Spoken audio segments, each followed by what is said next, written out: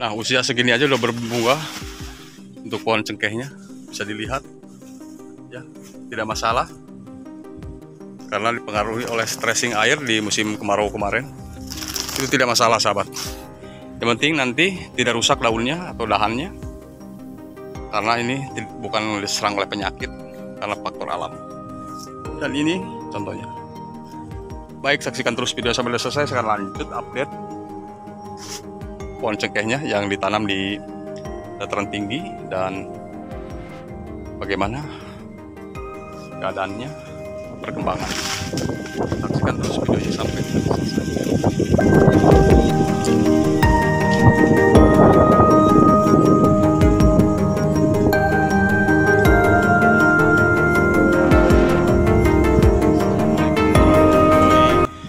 wabarakatuh sahabat Tani ketemu lagi di saluran saya seputaran tentang tanaman durian, cengkeh, dan alpukat. Namun di video kesempatan saya kali ini saya akan update pohon cengkeh ya. Di mana pohon cengkeh sini yang sudah ditanam 2 tahun lebih, ada yang 2 tahun dan ada yang 2 tahun lebih. Ini berbagai macam varietas yang ditanam, baik sansibar, si putih, dan si kotok ya. Nah, selain tanaman durian yang ditanam di sini, saya menanam tanaman cengkeh juga dengan jarak yang ekonomis banget sih sebenarnya. Karena ada satu alasan kenapa ditanam dengan jarak yang ekonomis. Jadi begini sahabat tani, jadi berhubung dan berhubung di sini situasi dan kondisi pada lahan kebun yang ditanami cengkeh dan durian di sini dikarenakan di sini rawan angin ya. Ini ketinggian tapi angin kencang ya. Jadi semakin tingginya biasa itu permukaan tanah maka akan semakin tinggi pula lah angin untuk menerpa kan biasanya seperti itu. Makanya di diperdekatkan sama sekali ya. Diperdekatkan sekali jarak tanamnya.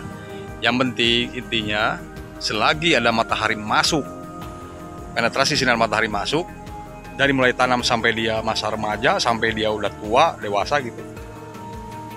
Tercukupi karena peran dari matahari ini sangat penting sekali untuk masa pertumbuhan tanaman sampai dengan biasanya tanaman sampai dengan dia mau berbuah karena matahari kurang masuk asupan sinar matahari kurang masuk berbuahnya juga kurang maksimal.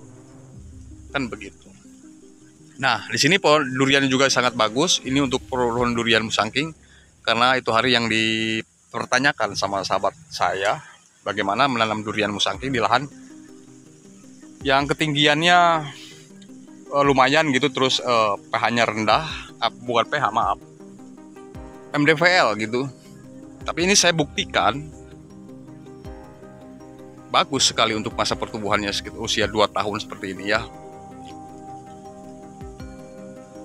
Nah, sengaja saya videokan di sore hari ini setelah nunggu angin tidak terlalu kencang karena barusan itu sangat kencang dan banyak di sini tali ya banyak tali untuk menahan pohon cengkeh yang udah tinggi ke pohon pete juga kan. Nah di sampingnya juga ada pohon cengkeh. Nah di sini pohon cengkehnya udah pada berbuah ya. Cuma nanti sekitar dua bulan lagi atau tiga bulan lagi siap untuk dipanen ya di usia remaja ini walaupun berbuahnya belum maksimal. Tapi kalau kita banyak yang ditanam, ya maka akan banyak juga hasil yang kita tuai ya. Walaupun dalam posisi masih belajar. Ini contohnya ini nih, bunga buahnya. Kalau di sini lumayan banyak ya pohon cengkeh yang ditanam. Terus bagaimana supaya rindang begini dahan-dahannya ya, dahan-dahan cengkeh supaya rindang? Ya sahabat tani lakukan usia remaja pohon cengkeh pamangkasan tunas atas atau top pruning. Top pruning artinya memangkasan bagian tunas atasnya supaya pohon cengkehnya ini rimbun ya. Dan banyak cabang serta eh, memiliki batang yang sangat kokoh kekar gitu tidak mudah roboh diterpa oleh angin. Itu yang saya jaga seperti itu.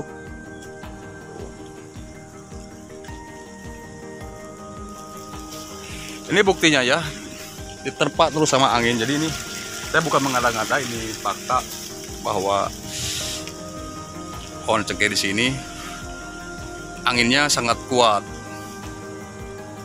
untuk uh, menerpa gitu kan. Begitu.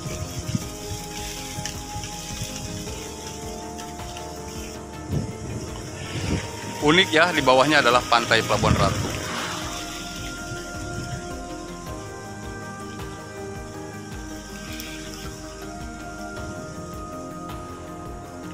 saya akan tunjukkan satu-satu untuk buah pohon cengkeh di sini. Dan kemarin pun alhamdulillah dari hasil buahnya sangat lumayan gitu ya di usia remaja dan ini calon bunga-bunganya tuh bunga cengkehnya lumayan karena kemarin didukung oleh cuaca yang sangat ekstrim ya. Artinya cuaca panas di usia remaja begini sangat cepat untuk mengeluarkan bunga buah.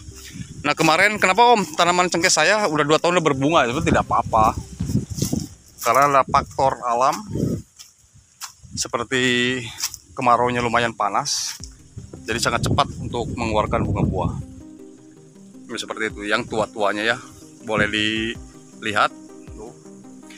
Kalau udah tua begini sangat layak untuk dijadikan indukan. Yang penting indukannya sehat usianya lebih daripada 20 tahun. Apalagi ini sudah lebih daripada 20 tahun lebih daripada 10 tahun aja memang sudah memenuhi syarat untuk disemai bibitnya atau bijinya gitu. Kenapa harus tua? Jadi begini alasannya kenapa harus tua? Tua itu tidak tidak ada kemungkinan gagal ya sudah dipastikan. Uh, indukannya juga atau anakannya juga yang kita semai biasanya jauh lebih bagus kadang-kadang gitu apalagi dengan dirawat dan berbuah cepat tahan juga terhadap penyakit karena bagaimana indukannya gitu. Kalau indukannya jelek biasanya sangat pengaruh. Yang akan kita semai kita bibitkan ke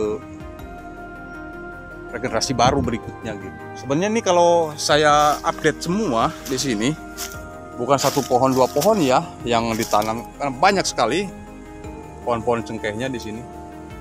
Ini yang tua juga dan saya paling suka ngelihat pohon cengkeh yang usia remaja gitu. Nah ini satu tahun kemarin kan sangat kurus sekali. Tuh sangat kurus. Sekarang rimbunnya minta ampun. Sisa-sisa kemarau. Itu hanya saja yang bagian tunas atas itu kering. Karena bagian tunas atas biasanya daun yang paling muda eh, sangat tidak tahan atau belum tahan terhadap cuaca panas ekstrim.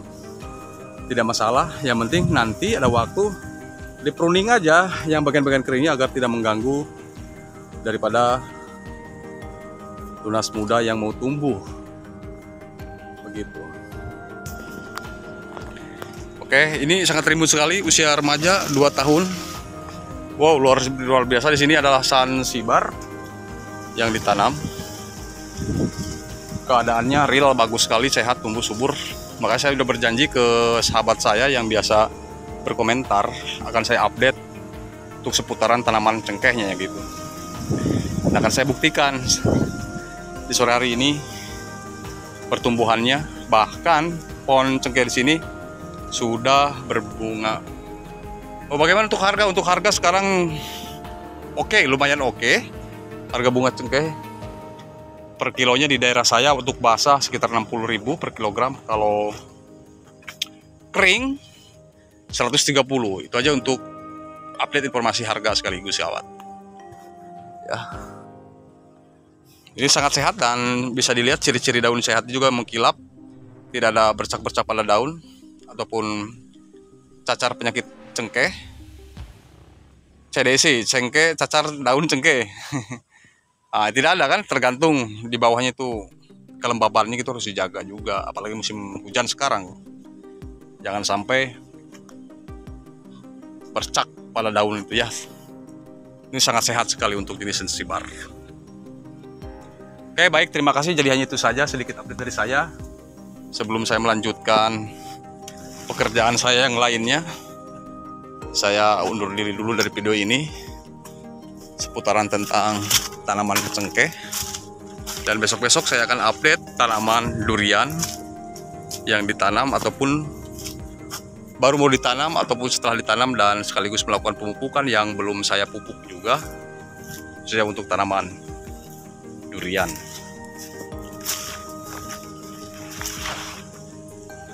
Terima kasih. Sampai ketemu lagi di video saya berikutnya. Mudah-mudahan menginspirasi. Kurang lebihnya mohon dimaafkan. Sekian dari saya.